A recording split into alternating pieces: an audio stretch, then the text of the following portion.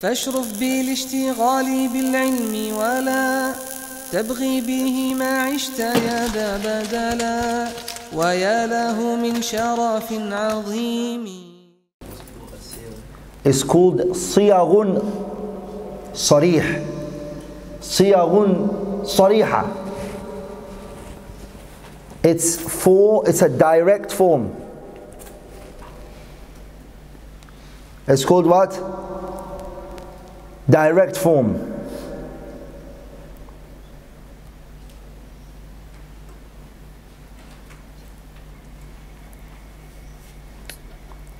the second one is And how many ways does it come in? See how four. The first one is if'al. The author just brought it right now. Anything that comes in the form of if'al. Anything that comes in the form of what? If'al. The second one is anything that comes in the litaf'al. You are going to do.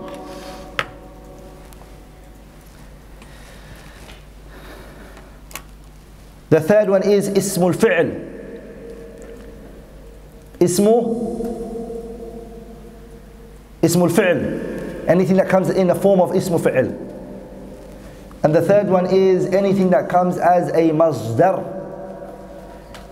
Anything that comes as a a masdar, which is a verbal noun.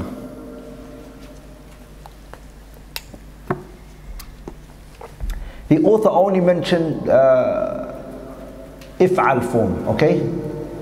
He didn't mention from the siyaghus sarih except that. The second one is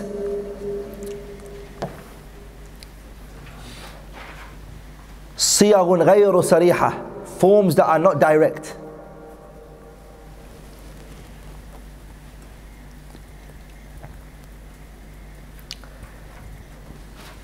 And it is the siyag which are ghayru sariha are it wasn't placed by the Arabs. The siyag which is ghayru sariha is هي التي لم توضع للأمر. It was not placed for it to be a command. في كلام العربي in the Arab usage.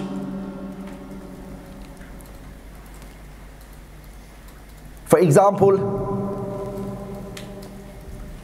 if a person who does an action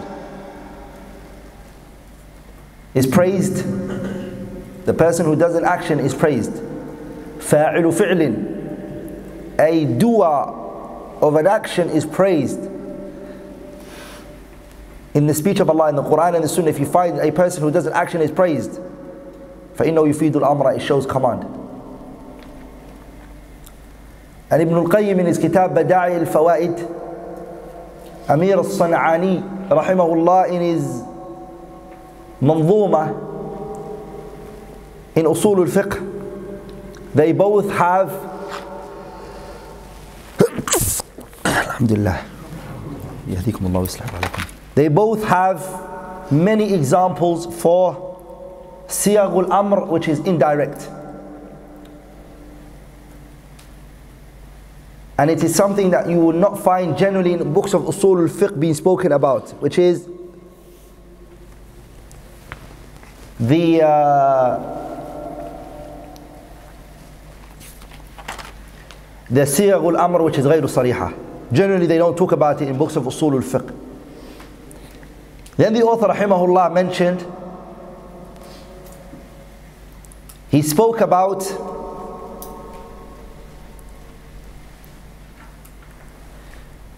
three issues regarding the Amr. And that is three matters pertaining to the structure and the form of the Amr. ثم ذكر المصنف ثلاثة أمور تقتضيها صيغ الأمر.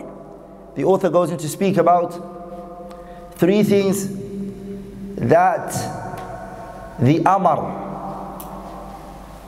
three thing three things in which the form of the Amr carries. The author mentions three things that the form and the structure of the amr it carries those meanings.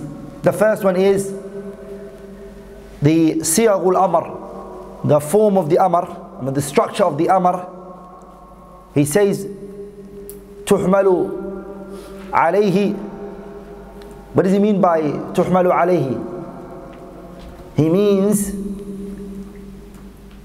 it benefits you when you see it unrestrictedly. When you generally, unrestrictedly, you come across and you see an amr without anything else being said, just a mere command, you see it. عند الإطلاق when it's unrestrictedly commanded, you're commanded to do something unrestrictedly والتجرد من القرينة it shows wujub. So if al just like that, what does it show? It shows that it's wajib.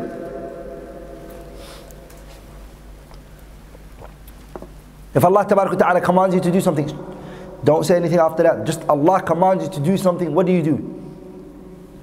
Do you have to do it or do you have a choice if you want to do it or not? Huh?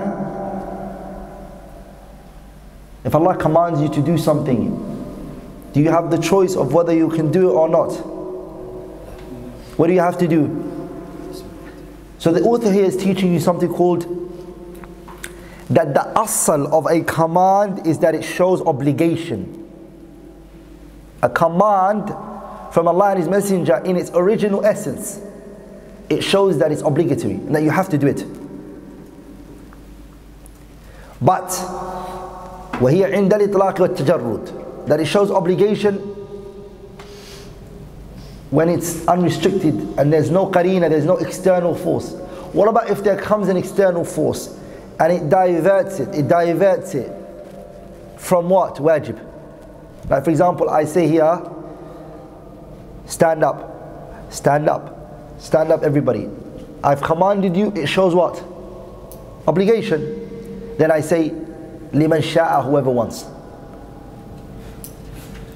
Whoever wants is an external force that diverted it from being obligatory. This is called a qarina. Now you have a choice. It's your choice. Do you want to stand up or do you not want to? Are you with me, brothers? Does that make sense? One of the also the qara'in that can divert something is Allah said in the Quran, يا أيها الذين آمنوا إذا نودي للصلاة من يوم الجمعة فاسعوا إلى ذكر الله وذروا البيع ذلكم خير لكم إن كنتم تعلمون. فإذا قضيت الصلاة فانتشروا. فإذا قضيت الصلاة the salah finished. قضي انتهى الصلاة.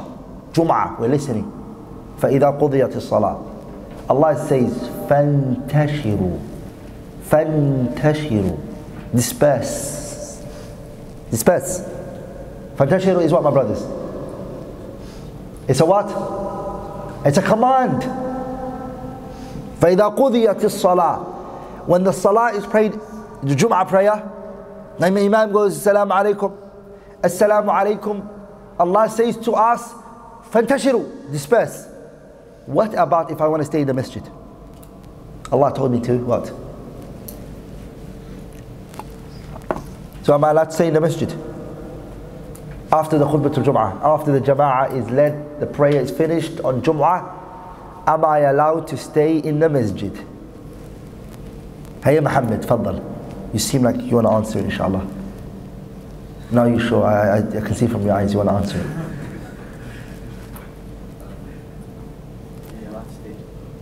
But Allah, we just took it. Now we all agreed. Just now we're built up to it. That if Allah commands you something, you have to do it.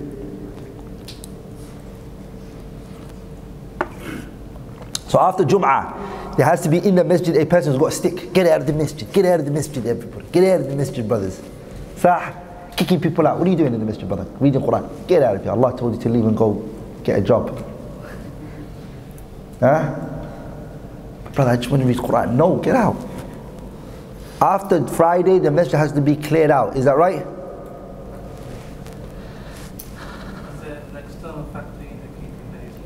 Oh, that's what we want to come to now. There's an external force, something that's making this amar not be wajib. So what is it? You can help us here. Allah subhanahu wa ta'ala said, but the viewer basically go, because obviously it's not, not everyone's got, like, you know, maybe not, not everyone's working about the Jummah. So when Allah said, huh? So, because the end he said, uh, uh, yani, to go back uh, to what you're doing in terms of work and stuff. So I think this is allowed, but this seems to be not correct. Okay, good, good, good. I like this. MashaAllah. It's very sharp how you looked at it. So, brother is saying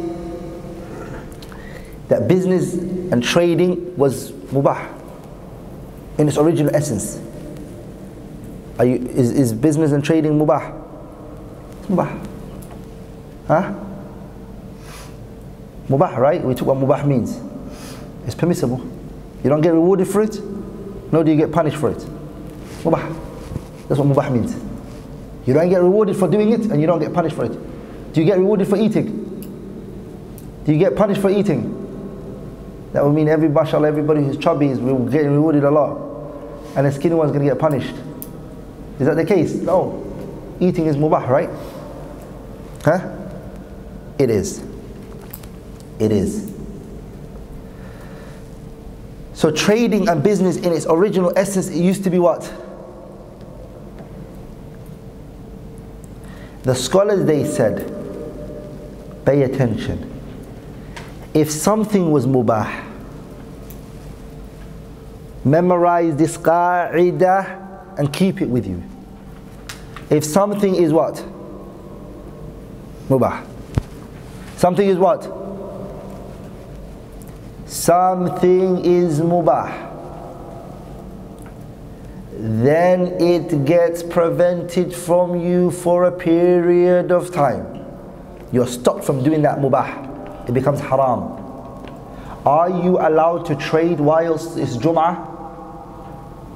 يا أيها الذين آمنوا إذا نودي للصلاة الجمعة يا أيها الذين آمنوا إذا نودي للصلاة من يوم الجمعة فاسعوا إلى ذكر الله So you leave off your trading, you close your shop, and you come where? Where do you come? To the masjid. Something that was mubah, my trading was mubah. It's now being prevented from me. I am being told I cannot trade anymore. And that there's a period of time in which it's being prevented from me. What's the period of time in which it's being prevented from me?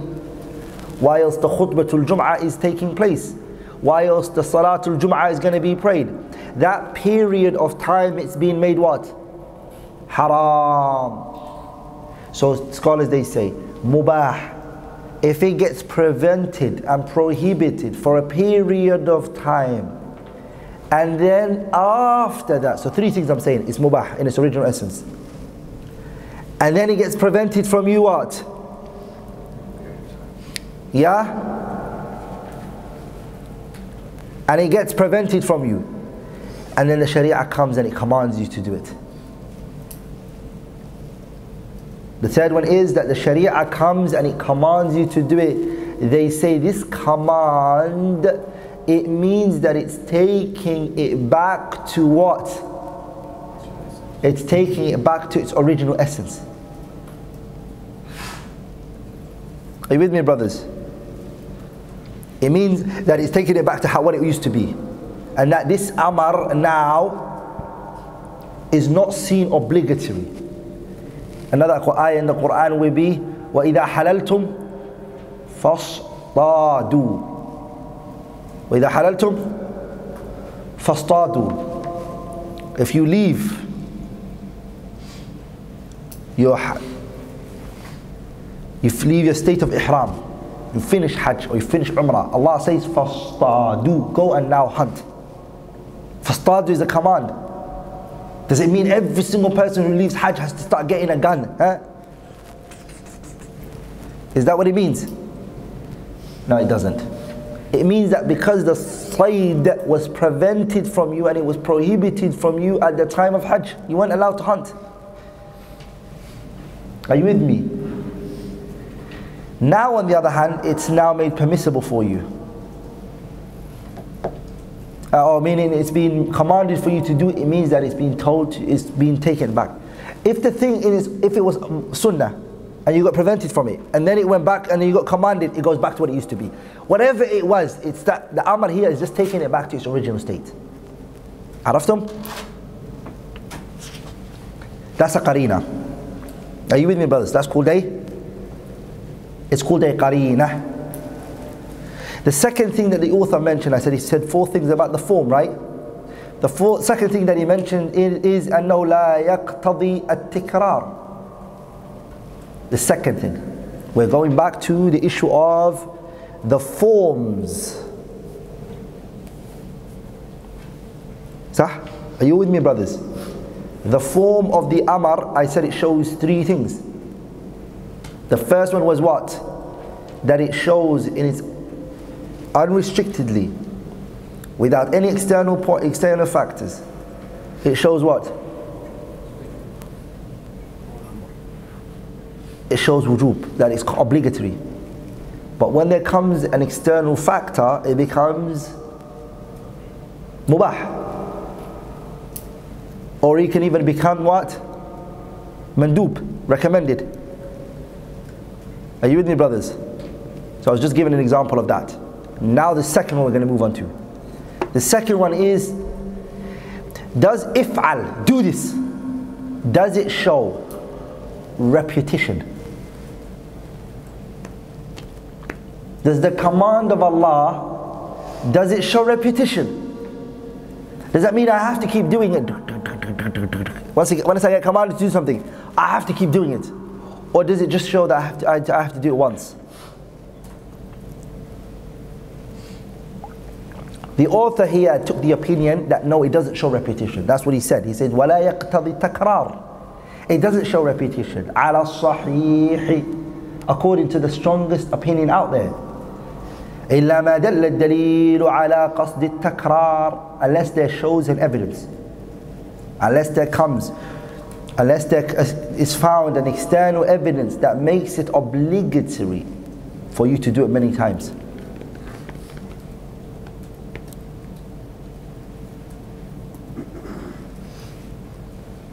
The evidence that the scholars use is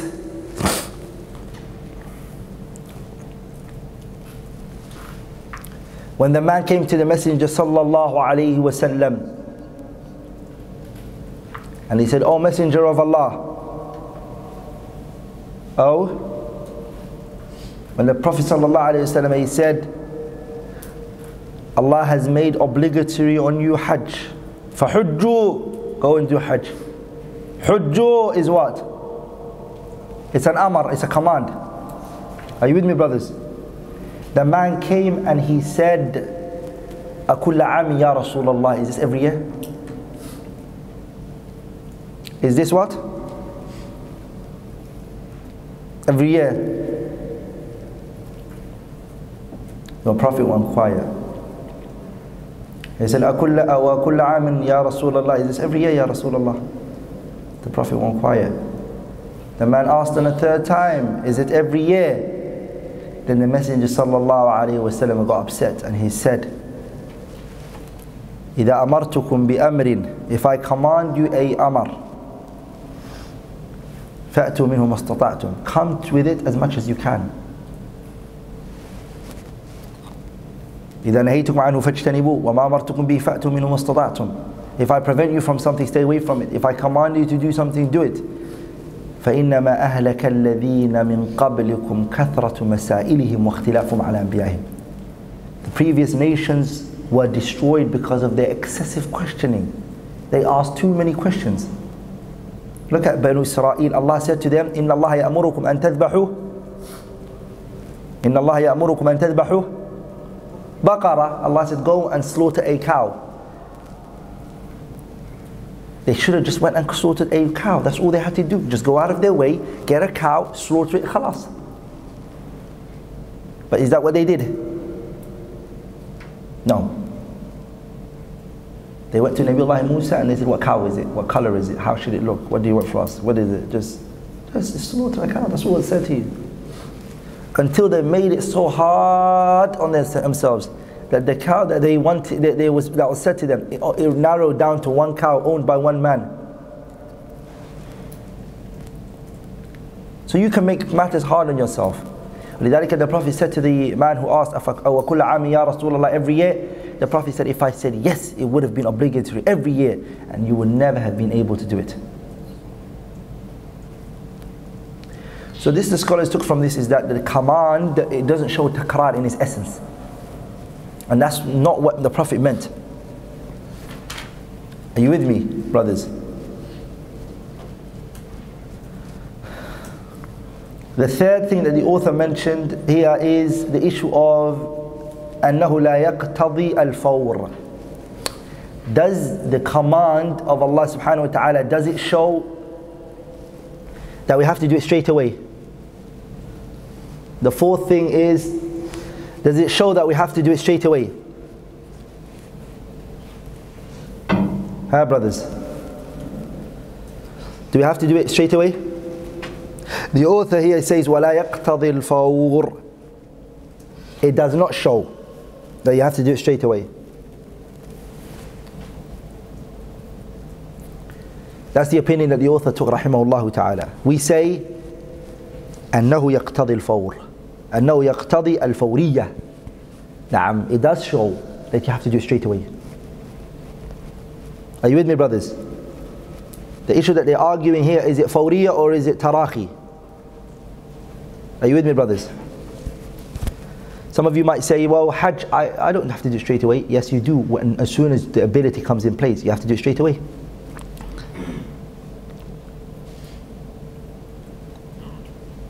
Then the author, rahimahullah, he concluded two points with the chapter of command, or the unit of command. When he was speaking about it, he concluded with two points. The first one is, والأمر بإيجاد الفعل أمر به وبما لا يتم الفعل إلا به كالأمر بالصلاة أو أمر بالطهارة المؤدية إليها The author talks about a very well-known principle called ما لا يتم الواجب إلا به فهو فهو واجب and this is a قاعدة أصولية which is that if I can't do a particular thing and I can't attain this particular thing unless I have to do something else, then that something else becomes obligatory. For example, do you have to now go do wudu? No. You might not even have wudu right now.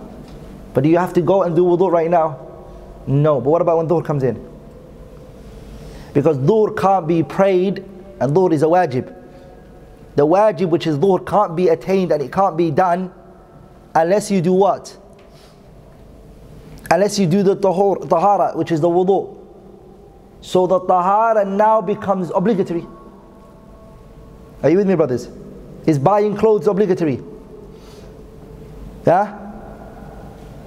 Do you have to buy clothes?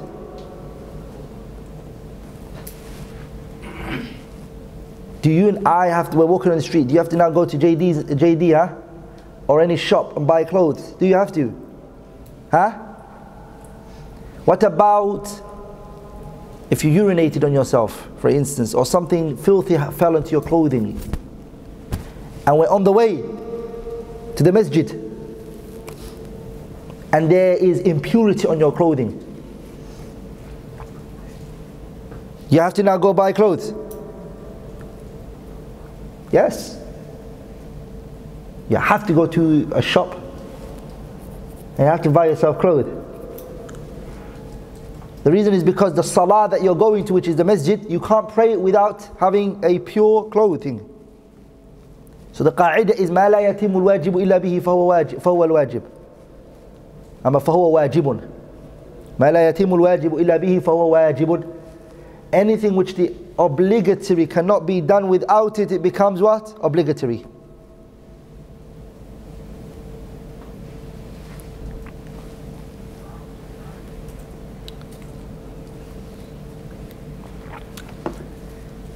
This qa'idah which is ما لا يتم الواجب إلا به فهو واجب is two types, is categorized into two types according to the ulama. It's categorized into what? It is categorized into two types.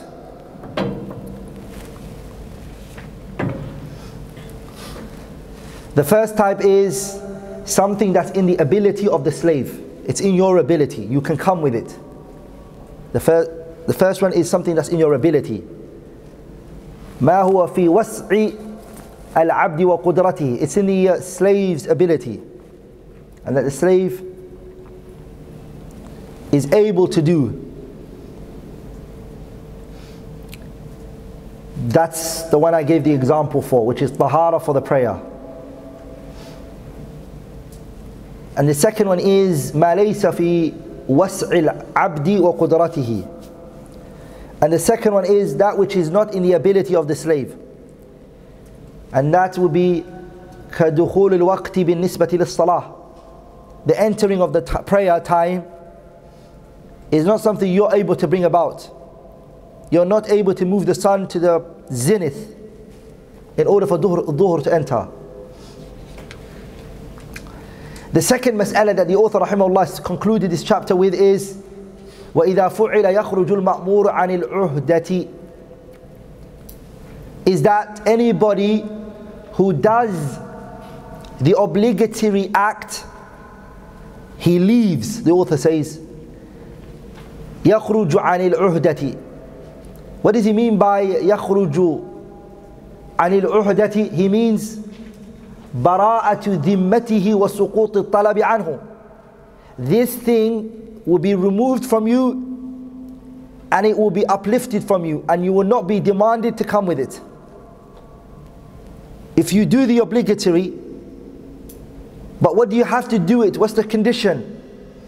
أن يفعله that the person does it وفق الصفة الشرعية he does it in accordance to the sharia which is that he observes two things sincerity and in accordance to the sunnah